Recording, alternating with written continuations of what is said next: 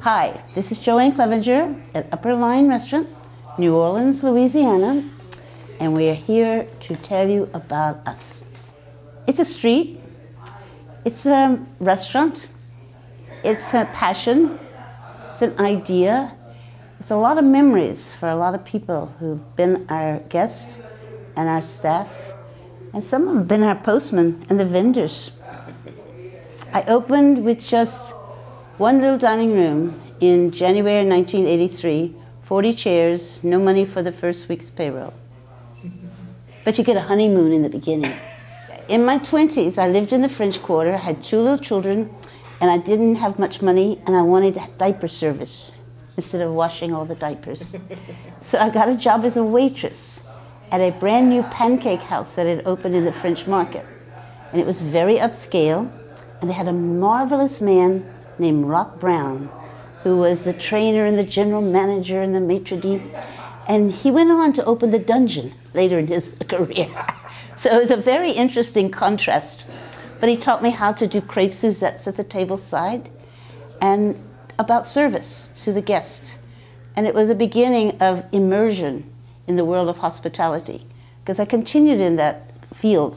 I worked at the Pancake House, then I worked on Bourbon Street at Buck 49 Steakhouse and had to wear cowgirl pants. And then I left them and went to work at the King's Room, which was where all the bunnies came when they got off work at midnight. In the beginning, I did all the bookkeeping and tended bar in the afternoon. But then I was, I got to be the nighttime cocktail waitress where I went to work at midnight. I got off at 6 in the morning, and I go back at 10 a.m. and do all the bookkeeping. So it was sort of like an apprenticeship and an internship. And then the people I worked for bought an Italian restaurant on Bourbon Street, Rizzo's, the 400 block. It was an all-night restaurant. We opened at 5, closed at 5. I went to work at midnight, got off at 6 in the morning, got my children to school, went back at 10 a.m., and did all the bookkeeping, the ordering, and the payroll, whatever else you have to do, go to the bank. And I did that for several years. And then in that same block, the opportunity to lease a tiny little carriageway came up. And I persuaded the people who ran the Father's Mustache Music Club to let me have the lease. It was very expensive, and I didn't think I could make it. But I kept my job at the Rizzo's and opened a little folk music bar called Andy's, which the Harvard Student Guide called the Oasis of Bourbon Street. Joni Mitchell came in once and sang for us. We opened it in 1969 and probably were open for three years. There was a fire at the Mustache that destroyed most of that building and negated my lease. But in the meantime, I had started a little flower cart business. And I had opened a second bar because I couldn't make a living off the one on Bourbon Street because the rent was so high. so I opened a bar on Decatur Street called the Abbey.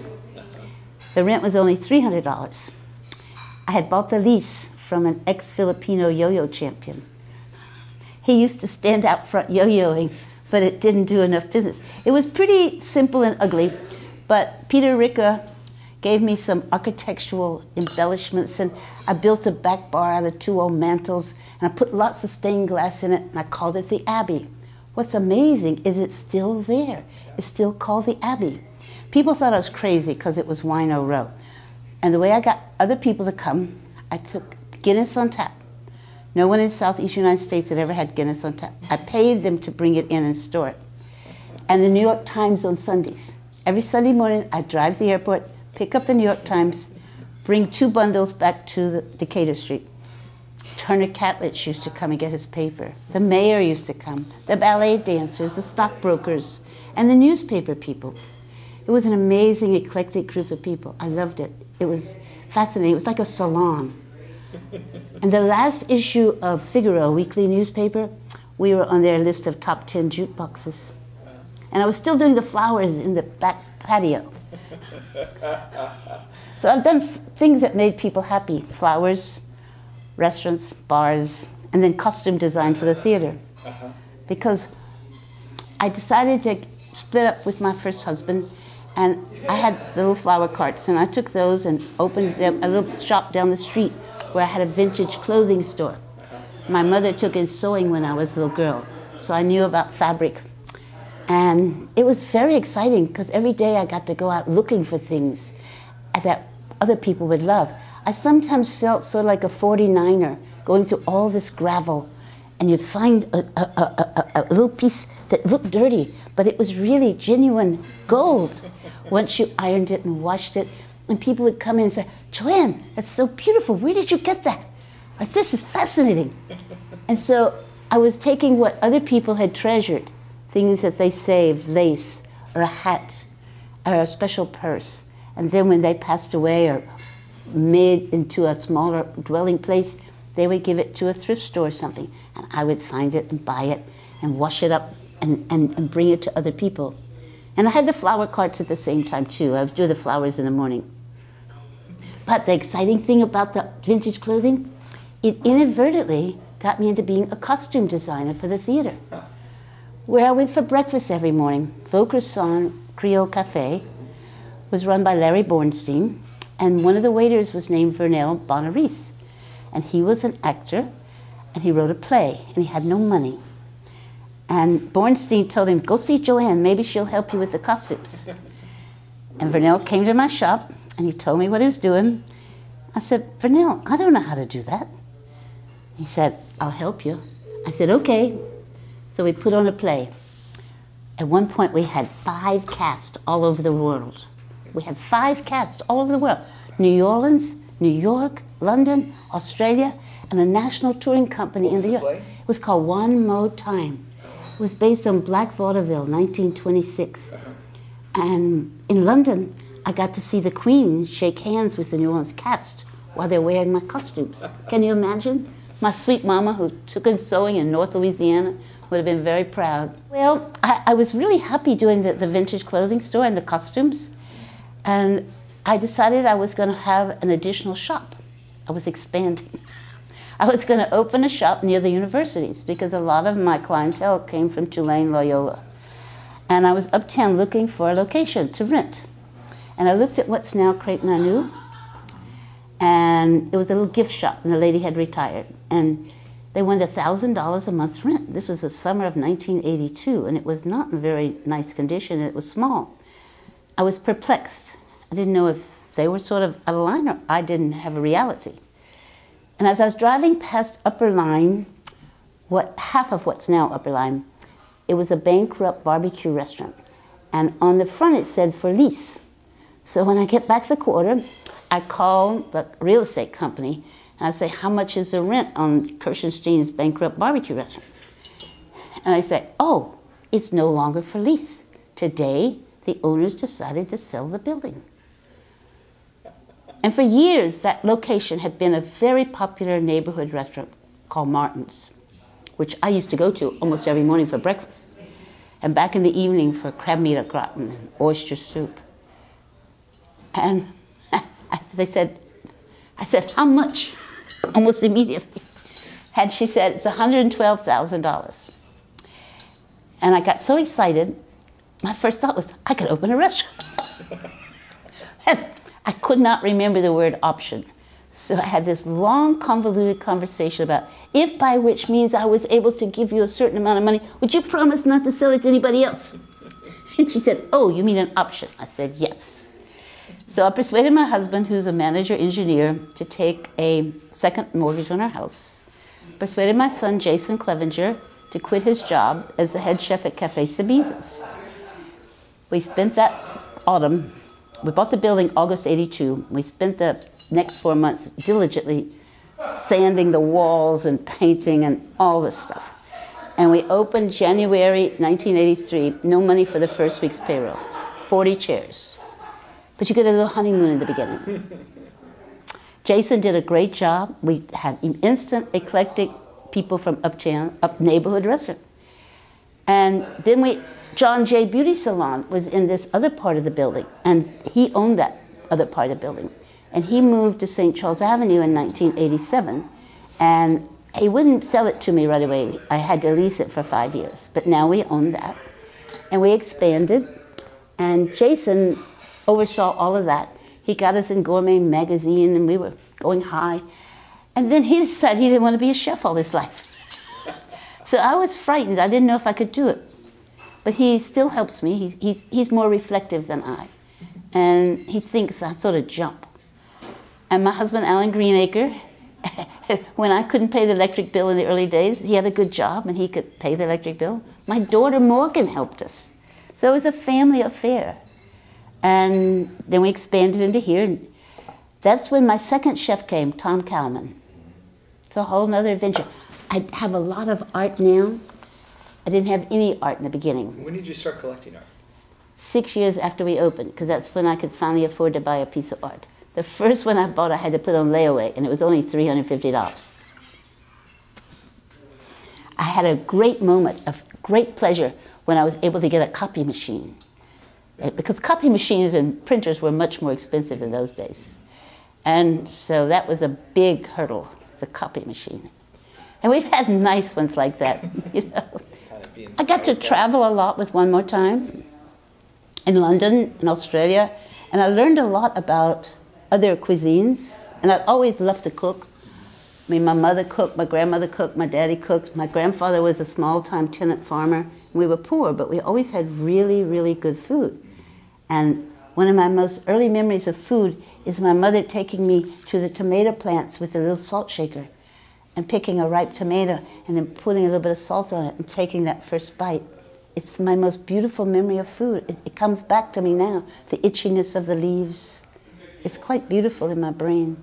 And I think food and the pleasure it gave my grandparents and my parents to feed us and others for holidays, make our own ice cream. I'd help my grandmother churn the butter. And just the joy of making really good food and sharing it gave them so much joy and showed off their skills and their intellect and their experimenting with things. And I guess that's one reason I like being in a restaurateur. You share your knowledge, you share your joy, and you bring joy to other people. Plus, you provide jobs. And that's always a good thing. Plus, you can determine the mission. I can set the goal. The goal is not to be too, too fancy or too, too casual, but to reflect the spirit of our city and our region. And that's that's been my real thing is I'm from Louisiana, North Louisiana, and that's where I got that puritanical work ethic. and you move to New Orleans when you're 17 to the Big Easy. That puritanical work ethic goes really far.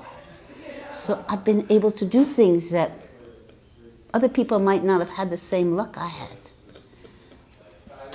How has Upperline changed over the years? It's gotten bigger it's filled with art. We we stopped doing lunch. For years we did lunch. We did brunch on Sundays. Oh, I had little wind up toys on the. Did you know those little uh, toy, tin toys that you wind up and they crawl around the table? That was so wonderful because people would exchange the toys. So one table would change their toy out to the next table, and grandparents would be with their grandchildren showing them the little toy. It was just beautiful because I think, I really, really believe that the world becomes more and more full of hassle. Right now, our government's all topsy-turvy. People are sad and angry. And the hassles of the day, the original meaning of the word restaurant is restorative. And when you, restaurants go well, and they do what they set out to do, whether it's a, a diner or a haute cuisine, they restore people after the hassles of the day. So it's as if you work really hard and you're able to create something that brings sustenance, not just physically, but emotional sustenance to your guest. And then they go back into the world and they're stronger and they're braver and, and self enhanced. And sometimes I think of teachers and how much they influence the world. I like to think that what I do is a little bit like that, that you influence those that come in contact with you. I estimated last year I've touched the table for over almost a million people. And that's exciting when they go back in the world. And I get lovely letters reminding me of something I did that I had not remembered. And we came and you were so gracious and then I didn't have my wallet and you let me send you a check. I mean just and people send me letters about how much they enjoyed it or how much it means to them. And that's that's what else is there in life? You know, one of the things that I'm very, very proud of is that I've been influential in, in bringing happiness to, I think, millions of people with the fried green tomatoes and shrimp remoulade. Because those are two dishes that have been around for a long, long time. New Orleans, the shrimp remoulade, all of the South, fried green tomatoes. And when I read that they were going to make a film about fried green tomatoes, I said, oh dear, we have to have them on the menu. But I wanted something different because when I was growing up, it was just a little side dish with a pork chop. I wanted a real dish. And I brainstormed around here for three days the waiters, the guests, the cooks, the chef. The fourth morning, I woke up and I said, aha, we already got the shrimp remoulade. We're going to put it on top of there. And my son Jason's shrimp remoulade went on top of Chef Tom Cowman's fried green tomatoes. And it was an instant hit for us. But that was 92, 1992. No one copied it till 1995. And then one day I walked into Mr. Uglesich's, and he's across the room diagonally. They used to come in here on Saturday night. And he calls to me. He said, JoAnn, I copied your fried green tomatoes. Come try mine. And it startled me. I said, I hope you named them for me. He didn't, but he gave me credit in his cookbook, and the New York Times gave me credit. and now there are menus all across America. Fried green tomatoes with crawfish aioli, with all these things that they've gone. The chefs have made many, many different things out of it. That and the flower carts. The flowers making flowers legal in, in, in Louisiana to be sold easily. That's brought happiness to millions of people. And the costumes in the theater, where I got to influence the people in the audience, and they would ooh when the right moment came, or look sad when it was sad. And so being able to influence people in that way, I think is the thing I'm most proud of. That restaurants have changed. I mean, but when I was in my 20s and 30s, in the 60s and 70s, restaurants were not chef driven. And the face of most restaurants was women. There were very few restaurants that had male waiters.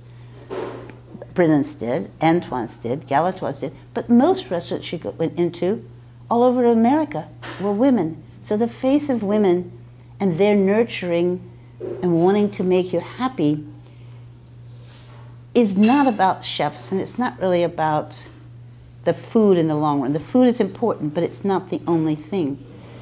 And I think chef driven restaurants are great if the chef has the right support to create that magic in the dining room that makes the guests feel special and looked after. Because it's not just a matter of how delicious something is, it's do you feel nurtured? Do you feel enhanced? And restaurants are one of the few places in our society still left where people can go and not be fearful that someone will take their purse if they leave their credit card behind, someone will call them. There's such so so much of our interaction with others now is anonymous. People don't recognize your face. In restaurants, we do. Sometimes I even remember where someone sat. That really tickles them a lot. and so it's that interaction in a personal way. And chefs have been driving restaurants because we have become enamored of food for the sake of food. And I think a lot of that has to do with television the CIA and Cornell and the entertainment value of food. And I'm delighted with that because it's made people more aware of cooking at home. And if people cook at home, the bar res is higher and higher. And they get more pleasure and joy out of it. Then when they come to a restaurant, they're much more knowledgeable with their palate and their ability to order things they've never had before. Because that's one of the things restaurants can do, is you can try foie gras and you don't have to risk much. My husband and my children say, Mom, you've, you've got to retire. You can't do this forever. And I would not like to retire. But at some time, you have to retire because your legs or your brain don't keep you going as much as you would like.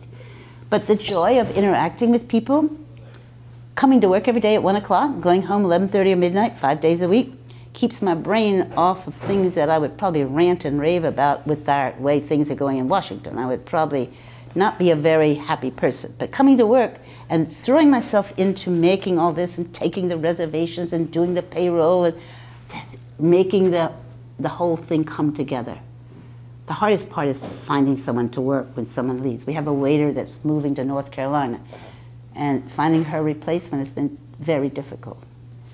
But we keep going. Oh, you have to be resilient. And if it was easy, I have, I have to remind myself quite often if it was easy, anybody could do it, right?